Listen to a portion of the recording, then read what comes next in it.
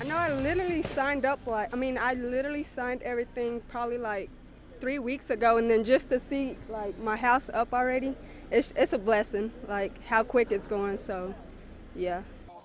And those houses do go up fast thanks to the dozens of volunteers who always make a difference with Habitat for Humanity.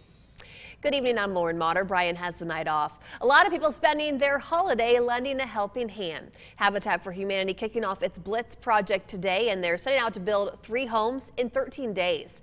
KAMC's Katie Gray out there being put to work. Only hours into the project and they're already ahead of schedule. One of the biggest parts of that is while lumber has skyrocketed this year, instead of using that for the framework, they're actually using steel.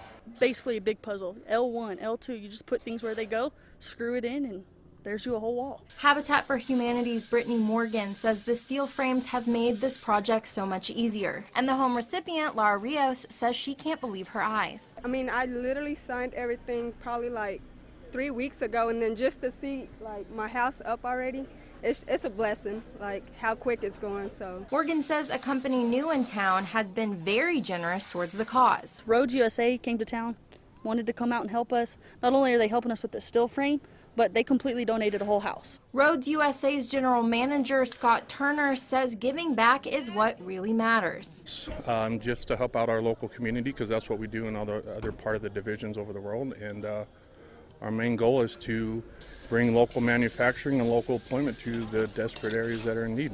It didn't take long for them to convince me to do my part. So I've been out here long enough that now they're putting me to work.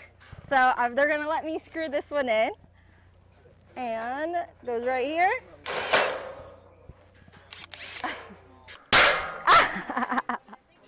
yep, got it.